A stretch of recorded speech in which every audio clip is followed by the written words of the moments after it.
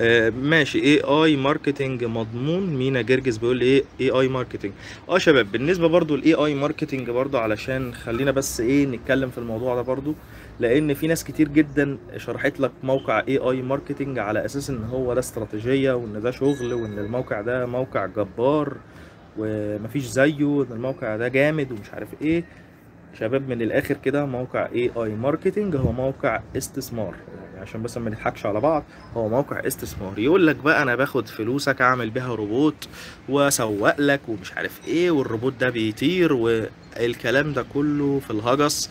وموقع AI Marketing هو عبارة عن موقع آه، استثمار بس في شكل مختلف يعني.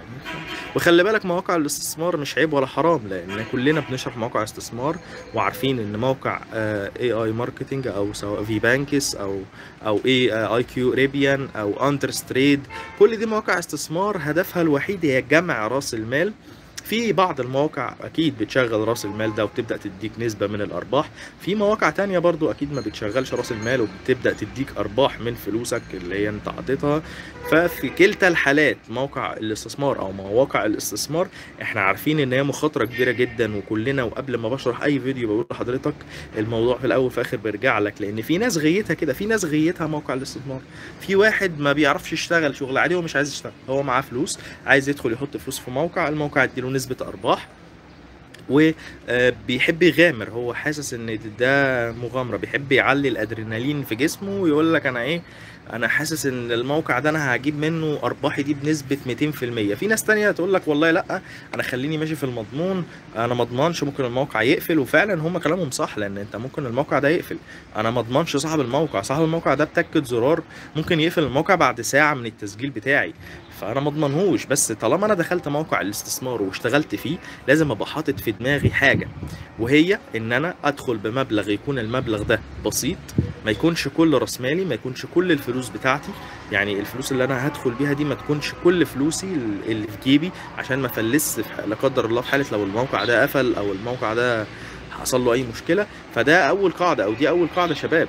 ما أدخلش بكل راس مالي أدخل بجزء بسيط جدا من فلوسي أو جزء بسيط جدا من راس مالي وأبقى عارف ومتأكد إن الموقع ده لا محالة هيجي له يوم ويقفل. بس أنا بحاول إن أنا أحقق أكبر قدر ممكن من الأرباح قبل ما الموقع ده يقفل. طيب. آه في نادر بيقول لي بالنسبة لل تداول ترشح لي أي منصة. والله نادر أنت عندك التداول أنواع. يعني أنت عندك في تداول أسهم في ممكن تشتري أسهم أو عملات رقمية. في تداول تاني أنا آسف أنا آسف على الصوت عشان أنا قاعد في البلكونة بس. طيب. في تداول في أنواع كتير يا شباب من التداول. يعني أنت عندك تداول مثلا عملات رقميه أنا أرشح لك منصة باينانس لو هتشتغل في العملات الرقمية. عندك شركات وأسهم وكده تشتري سهم مثلا شركة جوجل سهم شركة فيسبوك الحاجات دي. فأنا أرشح لك eToro أو ايفيست أو ليجاسي اللي إحنا بالمناسبة عاملين لهم سلسلة كاملة على القناة عندنا. في كمان نوع من التداول اللي هو الخيارات الثنائية. الخيارات الثنائية اللي هو يا طالع يا نازل ما فيهوش نقاش. فالخيارات الثنائية لو انت عايز تشتغل فيها فارشح لك منصة Olymp Trade أو منصة IQ Option أو منصة Binomo فدي من أفضل ثلاث منصات في المجال ده بصراحة. طيب. ماشي. أنا معاكم أنا هبدأ إن أنا أقرأ ال comments ماشي. إيه الفيزا اللي بتستخدمها في موقع Olymp Trade الفيزا شباب اللي أنا كنت بستخدمها في الإيداع والسحب في موقع Olymp Trade هي فيزا Payoneer فيزا في حساب أمريكي في Payoneer دي الفيزا بتاعتي اللي أنا بستخدمها في عملية الإيداع والسحب خلي بالك لو استخدمت أي فيزا مصرية أو فيزا في حساب بنك مثلا بنك أهلي بنك مصر أي بنك محلي ممكن تقبل معاك إيداع بس مش هتقبل معاك سحب. يعني ودي مشكلة كبيرة بيقع فيها كل الناس إن هو بيعمل إيداع بفيزا مصرية يجي بعد كده يعمل سحب تلاقي الفيزا ما بتقبلش. الفيزا بتقبل الإيداع بس لأن هي بتعتبر الإيداع بتاعك ده إنك بتشتري حاجة من على الإنترنت مثلا بتشتري حاجة من سوق dot com. فبتقبل إن أنت تاخد منها فلوس إنما إنك تحط أو ترجع عليها فلوس فده اللي بيبقى صعب شوية.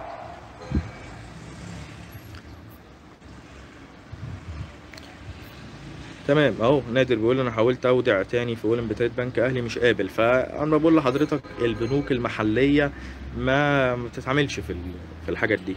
فأنت الأفضل تعمل حساب أمريكي على بايونير بفيزا أمريكية وتستخدمه.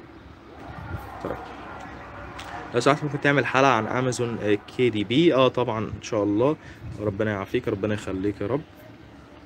ما هو أفضل وسيط لتحويل آه الأموال؟ بصراحة شباب في صفحتين على الفيسبوك في صفحة اسمها آه حول لي بستخدمها وفي صفحة تانية اسمها وسيطنا. آه بس ممكن تستخدم وسيطنا لأن تقريبا صفحة حول لي في الفترة دي تقريبا قفلوا يعني أو مش عارف. بس أنا ساعات ببعت لهم رسائل كتير ما بيردوش. فأنت خليك على صفحة وسيطنا كويسة جدا. وفي بقى أشخاص ممكن تتعامل مع أشخاص يعني.